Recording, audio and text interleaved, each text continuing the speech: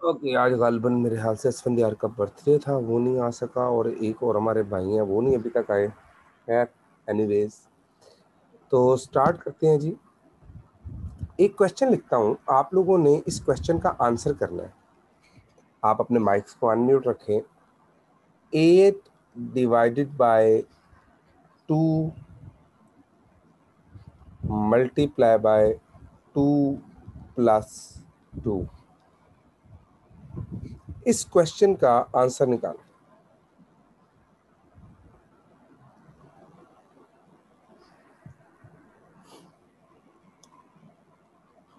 जी आपके पास copy pencil होती है ना सबके पास? जी सर।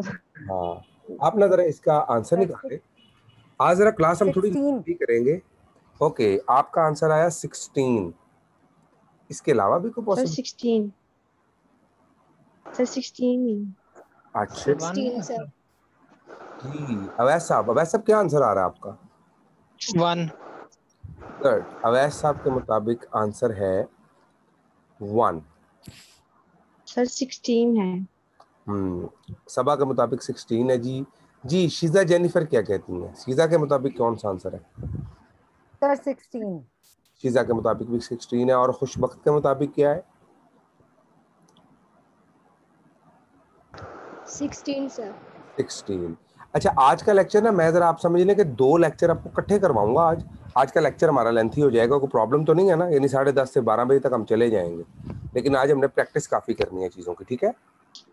ठीक है, सर। ओके तो मैं ये चाह रहा था कि ना मैं आपको जरा आज एक्स्ट्रा टाइम दूँ थोड़ा सा क्योंकि कल कॉलेज से ऑफ़ है तो इसलिए आज जरा बैठ के ना काम करते हैं डिटेल में।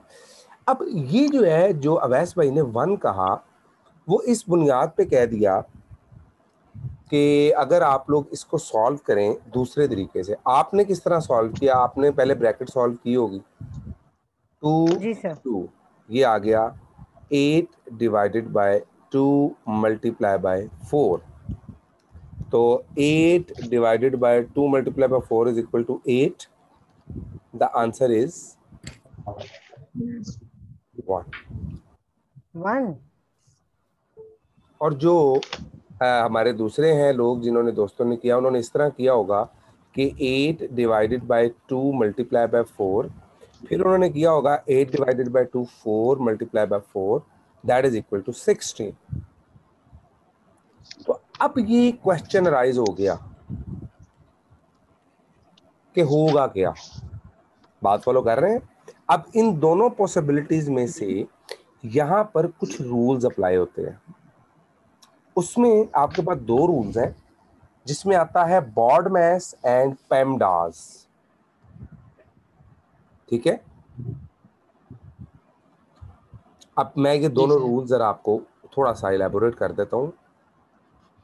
B O D M A S BODMAS BODMAS rule जो है, उसके मुताबिक सबसे पहले आप लोग सॉल्व करेंगे ब्रैकेट्स को। अगर ये ब्रैकेट है तो छोटी, उसके बाद ये ब्रैकेट है तो उससे बड़ी, और ये ब्रैकेट है तो सबसे बड़ी। उसके बाद आता है ऑर्डर। ऑर्डर मींस किसी चीज़ की पावर क्या है? उसके बाद आता है डिवीज़न। जो चीज़ें डिवाइड हो रही होती हैं। फिर आता है मल्टीप्लीकेशन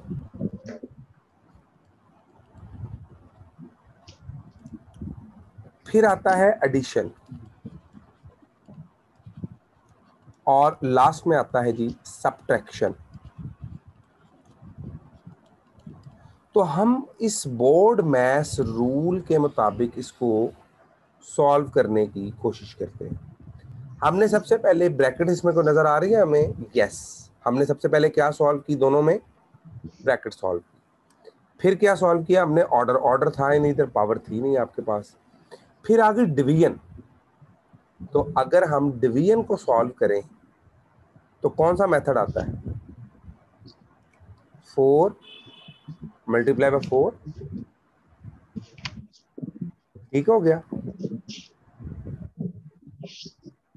जी ये बात फॉलो की आप लोगों ने? जी सर उसके बाद क्या आता है? मल्टीप्लीकेशन तो आपने मल्टीप्लाई कर लिया। जी सर ये था बोर्ड मैथ्स रूल अब चलते हैं दूसरे रूल की तरफ़ and the second rule is PEMDAS rule P E M D A S PEMDAS में parenthesis P means parenthesis parenthesis English में इन्हीं ब्रैकेट्स को कहा जाता है। पैरेंथेसिस उसके बाद एक्सपोनेंट्स जो पावर में होती हैं, फिर मल्टीप्लिकेशन फिर आ जाता है डिवीज़न फिर आ जाता है एडिशन और फिर आ जाता है सब्ट्रैक्शन अगर हम पेमडास को फॉलो करें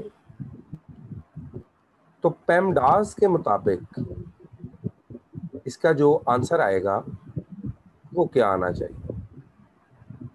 जी, अभी देख लेते हैं पेमडास के मुताबिक सबसे पहले पैरेंथेसिस ब्रैकेट्स हैं हमने सॉल्व की पावर नहीं है। उसके बाद क्या करना चाहिए हमें इसको? मल्टीप्लाई तो हमने मल्टीप्लाई किया तो एट आ गया। फिर डिवाइड किया। तो पैमडास और बॉस में बॉर्ड मैस लोग कहते हैं कि दोनों रूल डिफरेंट है। यहाँ डिवीज़न पहले हो रही है मल्टीप्लिकेशन बाद में हो रही है। यहाँ मल्टीप्लिकेशन पहले हो रही है और डिवीज़न बाद में हो रही है। ऐसे ही है? तो बॉर्ड मैस जो रूल है ना ये इस्तेमाल होता है ज़्यादातर आपका यूके में एशिया में। पेमडाज यूज़ होता है यूनाइटेड स्टेट में यूएस वगैरह में। अब क्वेश्चन फिर वही आ गया कि मैं क्वेश्चन यूके में सॉल्व करूँगा तो और आंसर होगा और उसको यूएस वाला चेक करेगा तो गलत कर देगा। The point is no BODMAS और पेमडाज के एक ही रूल है।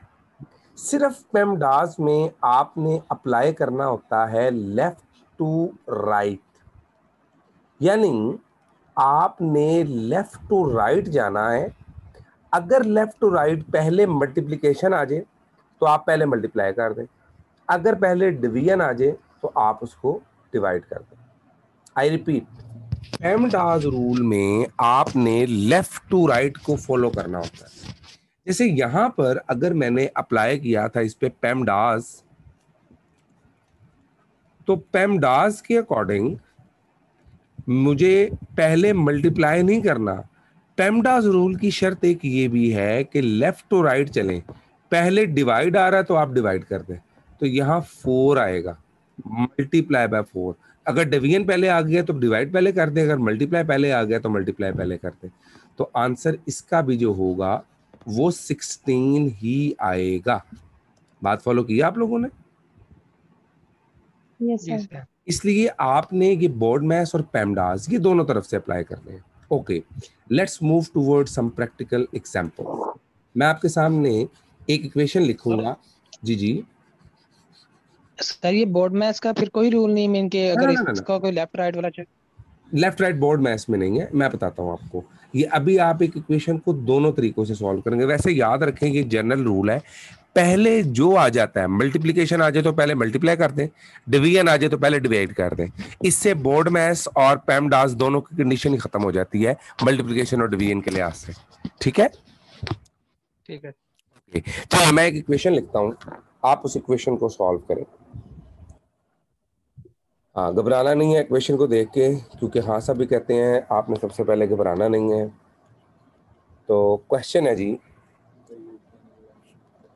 Four multiply by seven plus three square of ten divided by five minus 6 divided by 2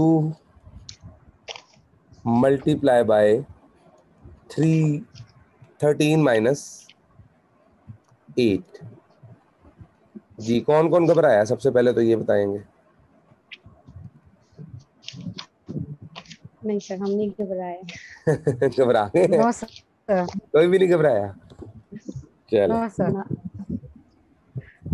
अगर आप तो घबराए नहीं है तो फिर हम घबराने से इसको जरा एक मिनट देता हूँ हल करके इसका आंसर तो निकालें सब लोग जरा हल करें इसको।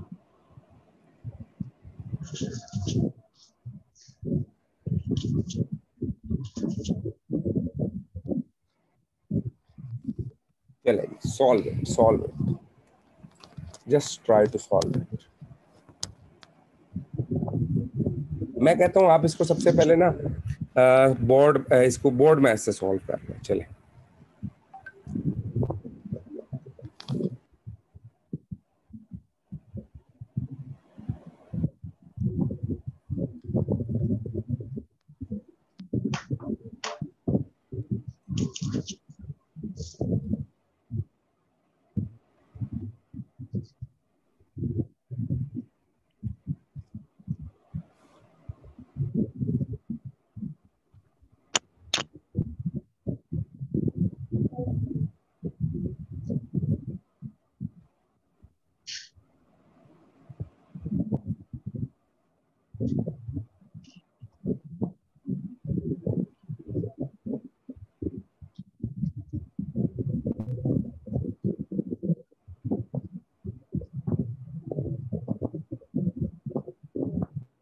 ये निकला किसी का आंसर बोर्ड मैथ्स के ज़रिए।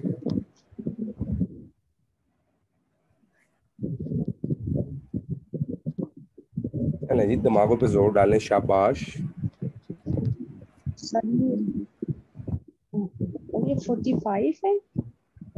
जी क्या आंसर आ रहा है? फोर्टी फाइव किसका? सबा का आंसर है थर्टी फाइव जी? फोर्टी फाइव अ, सबा के फोर्टी फाइव जी सबा के मुताबिक आंसर आ रहा है जी फोर्टी फाइव जी बाकियों के मुताबिक क्या आ रहा है? शाबाश। अवैस भाई के मुताबिक क्या आ रहा है जी? सर मैं थोड़ा सा कंफ्यूज हूँ यहाँ कोई बात नहीं कंफ्यूज तो होना ही नहीं आपने काम करना है। इंशाल्लाह ताला आप सीएसपी ऑफिसर हैं तो इस तरह कंफ्यूज तो होना ही नहीं। कल को डीएसपी बन के किसी के चित्र पोला ही करना पड़ जाता है यार। तो कंफ्यूज थोड़ी होना है आपने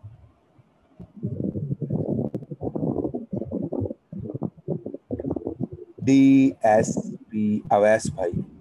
ख्याल से आपका पुलिस का शौक है? जी सर। चलें बहुत अच्छा हो गया फिर तो डीएसपी साहब। सर ये एएसपी बनेगा डीएसपी तो नहीं बनेगा। एएसपी बनेगा? जी सर अपना सीएसपी से ये सीएसएस में तो एएसपी होते हैं। एएसपी पहले डीएसपी आते थे ना? डीएसपी और एसपी असल में एक ही रैंक है। लेकिन सर जो डीएसपी हैं वो तो सीएसएस नहीं आते। मेरा भाई सर एएसपी हुआ है पिछले हाँ साल। मुझे पता है वो एएसपी होते हैं। डीएसपी जो होते हैं ना वो एसएचओ से तरक्की करके ऊपर आते हैं। जो सब इंस्पेक्टर भर्ती होते हैं या जो भी उसके अंदर होते हैं। ठीक कह रहे हैं आप। लेकिन वैसे वो एएसपी और डीएसपी का होता है एक जितना ही होता है। लेकिन फिर भी आप पढ़े लिखे ज़्यादा होते हैं। 17 होता हम्म, आपके तरक्की के ज़्यादा। चले माशाल्लाह आपको मुबारक हो भाई की तो। तो हम दूसरे देखे आपके भाई को तो हम फ़ोन नहीं ना आप कर सकते। यार मोटरसाइकिल फड़ी गई पुलिस वाला छाड़ नहीं रहा। मैं मैं भी इंस्पेक्टर हूँ मुझे हुक्म गया करें आप। अच्छा माशाल्लाह आप इंस्पेक्टर हैं। मैं जी सर अपना कोई पुलिस को ट्रेनिंग दे रहा हूँ छुट्टी लेके आया हुआ हूँ अपना ले ये तो बड़ी अच्छी बात है। चले जिस दिन मैं अब डीजी खान गया तो उधर बाइक वालों ने पकड़ा तो। आप लाहौर में आए तो सर आप हुक्म करें मैं लाहौर में हूँ पिछले एक डेढ़ साल से। अच्छा माशाल्लाह माशाल्लाह। चले ये भी अच्छा है। ज़रूर आपसे मुलाकात होगी किस दिन करते हैं। चले जी। मैं मिलने आऊँगा जनाब। तो वैस भाई जरा कंफ्यूज है। अच्छा जी फातिमा रुबाब ये खुशबक सरवर और बाकी जो हमारे दोस्त हैं सारे ये भी परेशान हैं? चले जी अब इसको अप्लाई करते हैं जी बोर्ड मैथ्स के ज़रिए। सबसे पहले बोर्ड मैथ्स अप्लाई करते हैं इसके ऊपर। अच्छा ये ज़रा थोड़ा सा मैं चिल रहता हूँ क्योंकि मैं चाहता हूँ कि क्लास के अंदर ज़रा एक अच्छा माहौल क्रिएट रहे। आप लोग पढ़ते हुए कंफ्यूज ना हो ज़रा इंजॉय इंजॉय करें। बोर्ड मैथ्स में सबसे पहले ब्रैकेट्स तो आप इसको हल करेंगे। बाकी सारी इक्वेशन छोड़ दें। Four multiply by seven plus three square of ten divided by five minus six divided by two thirteen minus eight कितना आ गया? फाइव ठीक? हमने ब्रैकेट को सॉल्व कर लिया। जब ब्रैकेट को सॉल्व कर लेना तो हम गलती करते हैं ब्रैकेट लगा के। ये गलती आपने नहीं करनी। ठीक है? आपने इसके दरमियान साइन डाल देना इसका मल्टीप्लीकेशन का। ठीक हो गया जी? अब दूसरी बात आती है ऑर्डर यानी पावर पावर वाला इधर को नज़र आ रहा है आपको? जी sir three square of two जी। तो थ्री स्केयर का मतलब है नाइन ऑफ़ का मतलब है multiply three square of ten का मतलब है three square nine multiply by ten. Ninety ठीक हो गया जी? आगे तो four multiply by seven plus nine multiply by ten divided by five minus six divided by two multiply by five. ठीक हो गया? अब आप जरा इस पे अप्लाई कर दें रूल। बोर्ड मैथ्स में क्योंकि डिवीज़न चल रही है, हम जरा पहले इसको डिवीज़न के हिसाब से कर लेते हैं, उसके बाद देखते हैं कि ये मल्टीप्लिकेशन कैसे करना। देखें जी, ये पोर्शन है आपका जिसको अभी मैं हाईलाइट करूँगा, ये वाला। एक ये पोर्शन डिवाइड हो रहा है आपके पास, और एक ये पोर्शन डिवाइड हो रहा है। दोनों को डिवाइड करें जरा। Ten divided by five two six divided by two three three और रिमेनिंग पोर्शन में वैसे ही लिख देता हूँ। Four multiply by seven plus nine multiply by two minus three multiply by five अब डिवीज़न वाले खत्म हो गए इसके अंदर से। अब मल्टीप्लिकेशन वाले देखे कौन कौन से। जी। अब देखिए। Four four into seven nine into two three into five यही आ रहा है ना हमारे पास? तो फोर सेवन जा ट्वेंटी एट नाइन टू जा एटीन माइनस थ्री फाइव जा fifteen 15 forty six minus fifteen that should be equal to 31 thirty one तो सभा जो है वो फोर्टी फाइव पे थी। जी कोई बात नहीं। अब इसी के ऊपर जैसे आपने बोर्ड मैस अप्लाई किया ना ऐसे ही आपने पेमडाज अप्लाई करना है। इसी के ऊपर पेमडाज अप्लाई करते हैं। चलें तो ये आप लोगों ने लिख लिया इसको मिटा दूँ? जी सर। स्क्रीनशॉट ले लें अगर किसी ने लेना तो।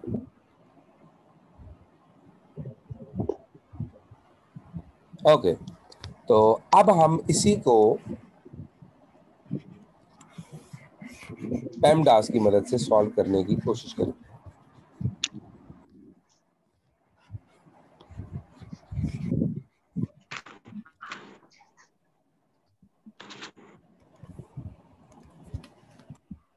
बाय पेमडास अब पेमडास की मदद से सॉल्व करें तो सबसे पहले पैरेंथेसिस मींस ब्रैकेट्स तो इसको सॉल्व कर लेंगे, ये आ जाएगा उसी तरह से आपके पास। फाइव और सॉरी ब्रैकेट्स नहीं लगानी, जैसे मैंने अभी आपको बताया था। बाकी ये आ गया two divided by six divided by two five minus six divided by three square of ten plus जी वही क्वेश्चन आ गई। अब इसको फिर अप्लाई करें। ब्रैकेट ये वाली है हमारे पास तो nine multiply by ten four multiply by seven plus nine multiply by ten divided by five minus six divided by two multiply by five अब अगर लीनियरली मैं अप्लाई करूँ अगर मैं अब इसको लीनियर इसके ऊपर अप्रोच अप्लाई करूँ ना तो क्या बनेगा? ठीक है? मैंने कहा था पेमडाज में आपने चलना है from left to right left to right चलते जाएगा विदाउट एनी टेंशन आप इस पर अप्लाई करके देखें कि हमारा आंसर वही आता है। तो सबसे पहले हम किस पे अप्लाई करेंगे? ये आ रहा है सबसे पहले मल्टीप्लिकेशन का। फोर सेवन ज़ा ट्वेंटी एट प्लस इसमें आ रहा है nine into ten nine into ten ninety divided by five minus को छोड़ दिया ये। Three a six divided by two is equal to three multiply by five जी ये बात समझ आई आपको? जी सर। हमने लीनियरली उसके ऊपर अप्लाई कर दिया। डायरेक्ट सीधा सीधा हमने जो देखा जो पहले आ रहा था मल्टीप्लाई वाला मल्टीप्लाई कर दिया। यहाँ पे मल्टीप्लाई पहले आ रहा था तो इसको मल्टीप्लाई कर दिया डिवाइड को छोड़ दिया। इसी तरह माइनस करके सिक्स डिवाइड पहले आ रहा था पहले डिवाइड कर दिया और फिर उसको लिख लिया। अब ट्वेंटी एट प्लस कितना आ जाएगा ये? Eighteen minus three multiply by five तो क्या आंसर आएगा। सॉरी है सर, तीन आएगा। क्या गलत कर दिया हमने कुछ? नहीं नहीं सर ठीक जा रहे हैं। नहीं सर ठीक है ठीक है। ट्वेंटी एट प्लस एटीन कितना हो गया जी? फोर्टी सिक्स क्या आंसर आया? Thirty one. Thirty one. और उसमें क्या आ रहा था? Thirty one. Thirty one. हाँ जी तो समझ आइए आपको कि पेमडास और बोर्ड मैथ्स एक्चुअली ये एक ही तरह के रूल है। सिर्फ़ इसमें ना थोड़ा सा आप याद रखें bracket power division multiplication addition subtraction तो आप बोर्ड मैस से कर लें आप पेमडास से कर लें। अगर मुझे कोई बंदा कहे कि आप कौन सा मेथड ज़्यादा प्रेफर करेंगे तो मैं ज़ाती तौर पे ये वाला मेथड पेमडास अप्लाई करता हूँ। जब मैंने कभी करना हो सॉल्व तो। क्योंकि इसमें लेफ़्ट टू राइट पे आप कर देते हैं ना आप डिवीज़न और मल्टीप्लिकेशन में कंफ्यूज ही नहीं होते। चलें एक और एग्जांपल करें इसकी। जी सर।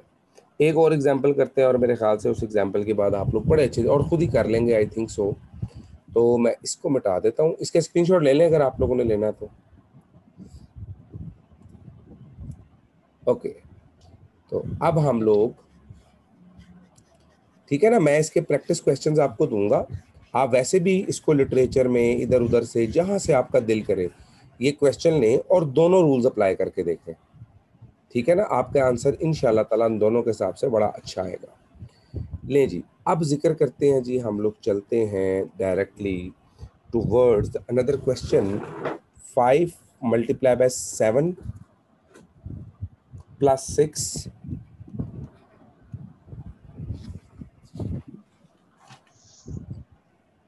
plus six चलें इसको डिवाइड कर दें थ्री के साथ रैंडमली लिखते हैं माइनस कर दें एट के साथ और मल्टीप्लाई कर दें फोर के साथ। चले, इसका सोल्यूशन निकालें चलें, इसको स्केयर कर लें। ज़रा थोड़ा कंफ्यूज कर लेना। और हाँ ठीक है। अब ज़रा इसको सॉल्व करें। दोनों तरीकों से सॉल्व करें और देखें आपके आंसर आ रहे हैं बराबर?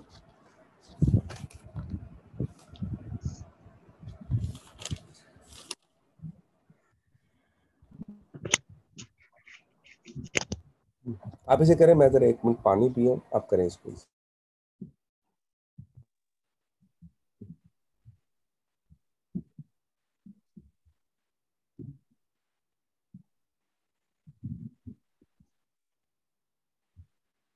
फिफ्टीन सर आंसर आया।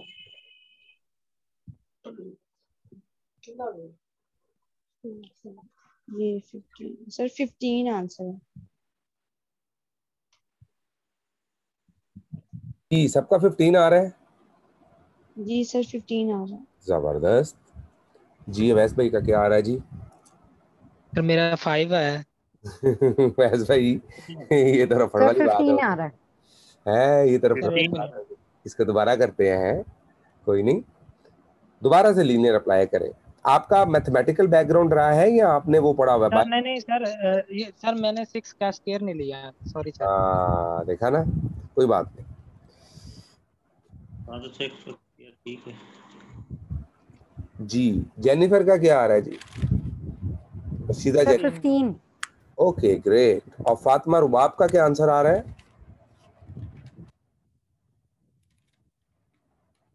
फातिमा रुबाब हमारी तरफ़ ही है। हम भी ऐसे ही करते हैं क्लास में। मीटिंग ऑन करते हैं और उसके बाद। जी खुशबख्त सरवर मैं भी सॉल्व कर रही हूँ। अच्छा अब अभी तक सॉल्व कर रहे हैं माशाल्लाह और ये जी जी सर मैंने क्लास लेट ज्वाइन की है। ओ माय गॉड आपने आज भी क्लास लेट ज्वाइन की है। आपकी क्लास चल रही होती है कोई? जी सर बताया था आपको। इंग्लिश की आपकी क्लास कितने बजे वाइंड अप होती है? टेन थर्टी देखिए मैंने आपकी वजह से टेन थर्टी का टाइम किया था सिर्फ़ कि आप में से किसी एक बच्चे को भी डिस्टरबेंस ना हो तो सब पे वो चलो सारे उस पर एग्री हो गए हमारे उस टाइम पे तो आपके लिए भी टीचर्स भी तो अपनी मर्ज़ी से करते होते हैं ना। अच्छा अच्छा अच्छा अच्छा वहाँ पे लेट हो जाते हैं आप चले ट्राई करें इसको।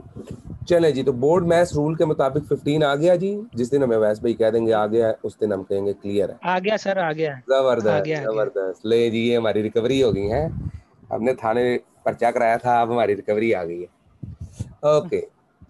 तो इसके बाद जी हमारे पास ये दो रूल्स अब आप इसको कर लेंगे ना अप्लाई अपने तरीके से मुख्तलिफ़ जगहों पे। जी हाँ। मैं आपको इंशाल्लाह ताला इसकी सॉल्व एग्जांपल भेजूँगा। तो सारे बहन भाइयों ने ना ज़रा अच्छे तरीके से ये कर लेनी है ताकि आप लोगों के लिए ना ये इशू ना क्रिएट करें इंशाल्लाह। तो ये छोटा सा रूल था लेकिन इम्पोर्टेंट रूल है और इसके लिए ना बड़ी कैलकुलेशंस होती हैं इसकी बेस पे। यहाँ पर ना हम लोगों ने लीनियर इक्वेशन करनी है आज जिसे क्वाड्रेटिक इक्वेशन कहते हैं। मैं चाह रहा था कि आपका जो क्वाड्रेटिक इक्वेशन का एक पोर्शन है ना वो आज हम कवर कर दें इसलिए शायद लेक्चर थोड़ा सा लंबा हो जाए लेकिन उसके अंदर फ़ायदा हमारा ही है इनशाला तो तो मैं सिर्फ़ हम क्वाड्रेटिक करेंगे बाकी नहीं करेंगे लीनियर और वो जी हम बाकी भी करेंगे हम क्वाड्रेटिक तक जाएँगे। यानी सिंपल इक्वेशन से स्टार्ट करके डिग्री ऑफ़ पॉलिनोमियल टू तक हम लोगों ने जाना है। ओके ठीक है? Just for a minute let me open बाकी सबका आंसर क्या आया है? जी 15 आंसर अच्छा जी। अब चलते हैं जी हम लोग लीनियर इक्वेशंस की तरफ़। तो लीनियर इक्वेशन है क्या चीज़ सबसे पहले? देखें जब कभी आप लोग कोई इक्वेशन को सॉल्व कर रहे होते हैं तो आपके पास उसके अंदर एक वेरिएबल आ जाता है।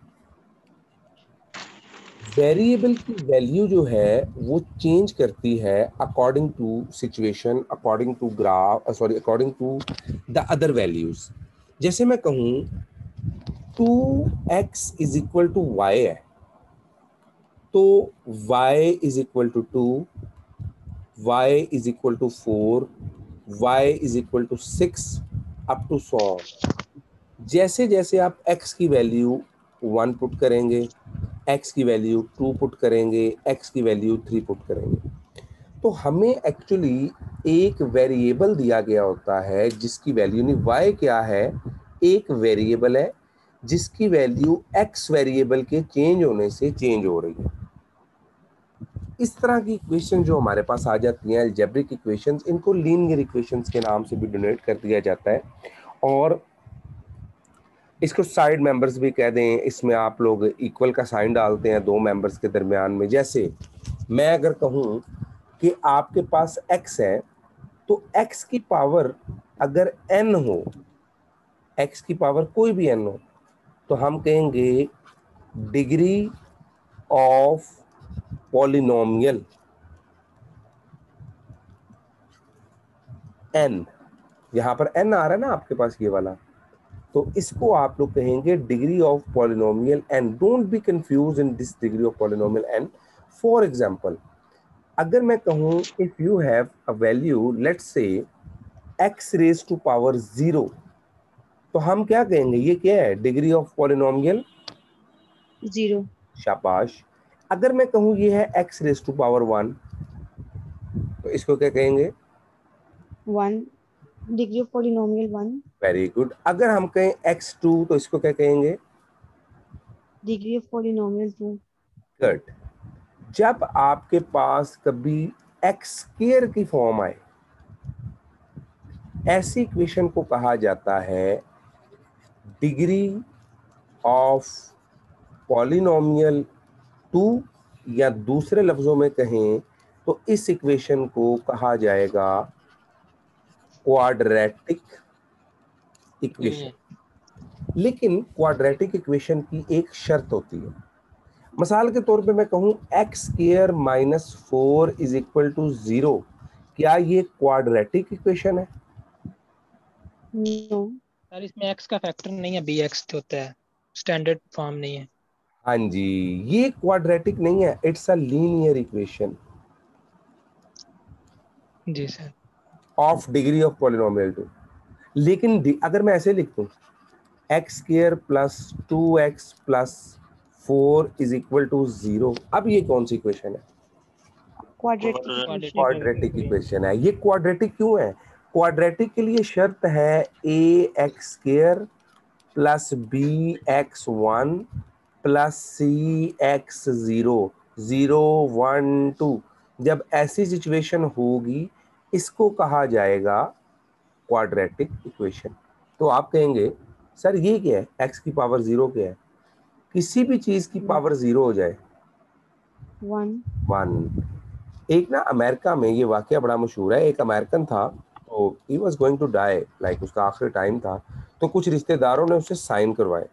ये आप ये समझ लें कि नाइनटीन थर्टीज की बात है ये।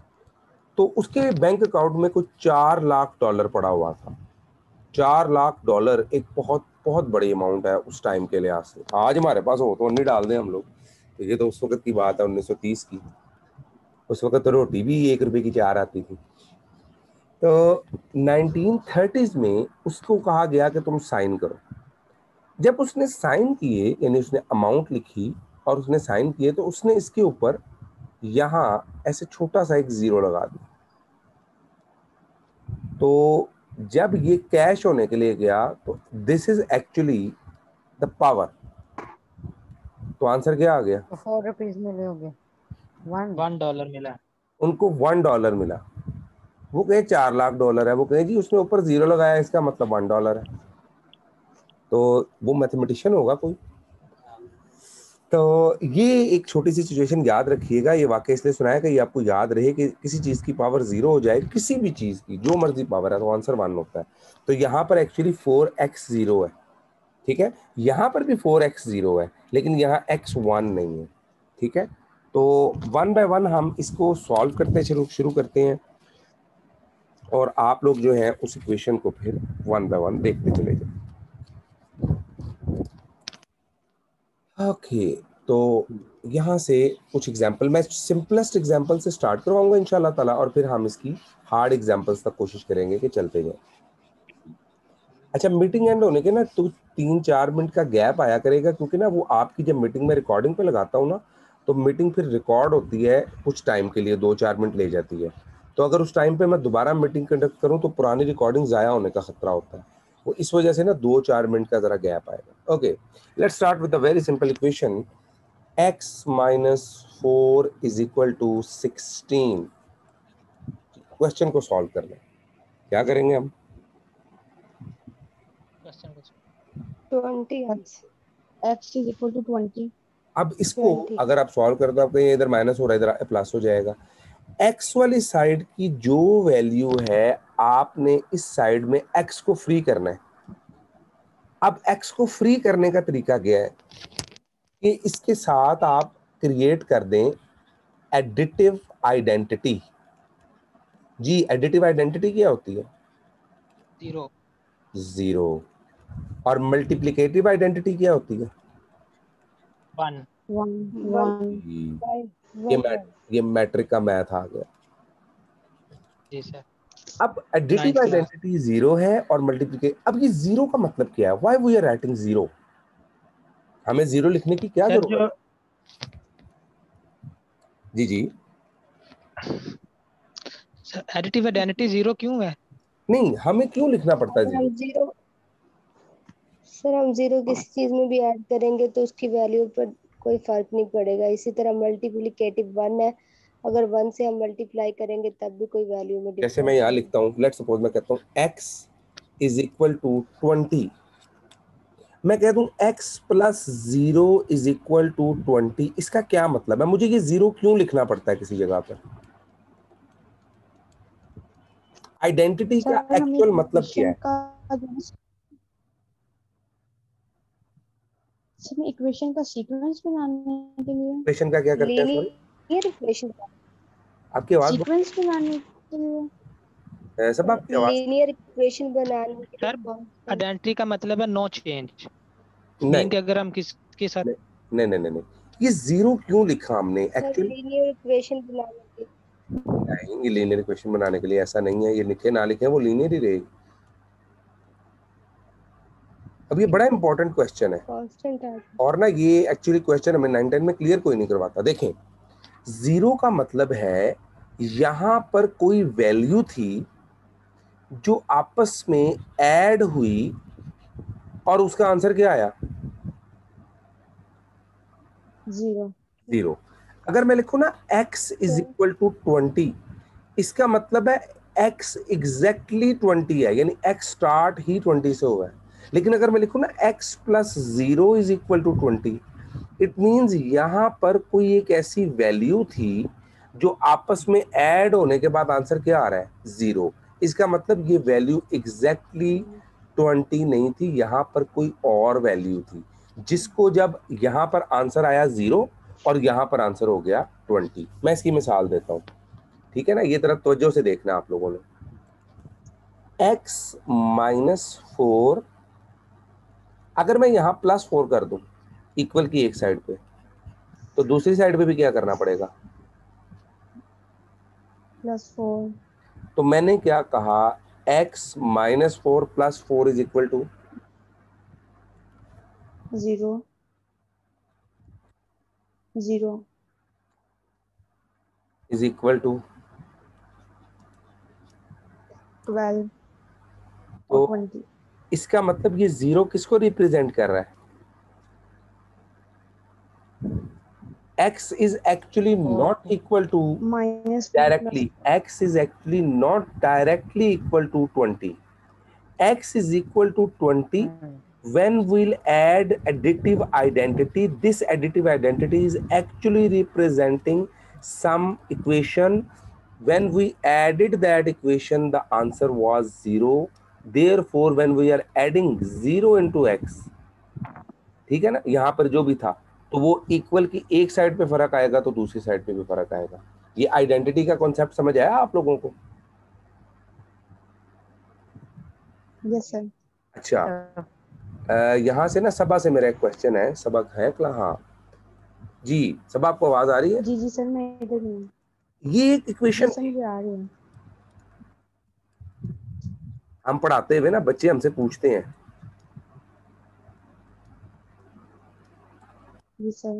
ये है.